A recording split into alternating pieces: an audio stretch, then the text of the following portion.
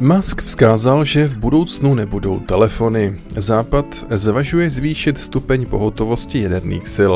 Toto je Vladimír Franta a pondělní plesk.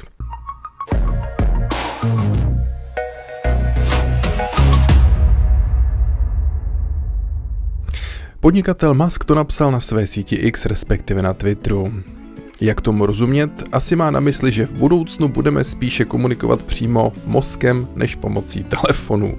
Jeho projekt Neuralink se zaměřuje na propojení lidského mozku s počítačem, což by mohlo umožnit rychlejší a efektivnější komunikaci.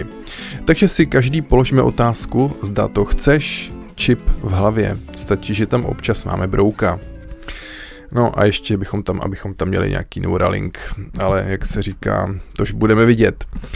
A co ten západ? Podle Telegrafu se vedou rozhovory o uvedení jaderného arzenálu do pohotovosti. Šéf aliance nechce prozrazovat podrobnosti, pan Stoltenberg, jen, že třeba demonstrovat svůj potenciál, aby se mírně řečeno nepříznivci paktu měli na pozoru. Asi si má dát majzla i Čína, která dle odhadu k roku 2030 bude mít už tisícovku jaderných hlavic. Asi si strategové uvědomili, že budou muset čelit dvěma jaderným rivalům, Rusku a Číně. Za malé historické připomenutí stojí, že jaderné bomby byly již použity z hlediska toho, kde vyrobeny byly tak za Atlantikem, nikoli v zemi draka či medvěda. Takže jo, třeba se mít na pozoru, díky za info.